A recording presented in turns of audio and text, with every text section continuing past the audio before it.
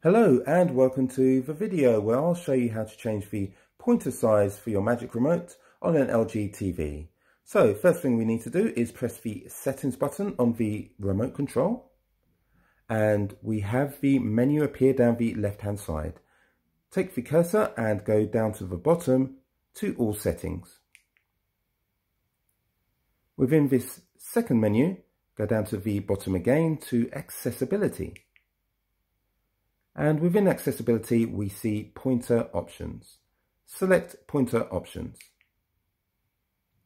And here you will see the three sizes of pointer you can choose from.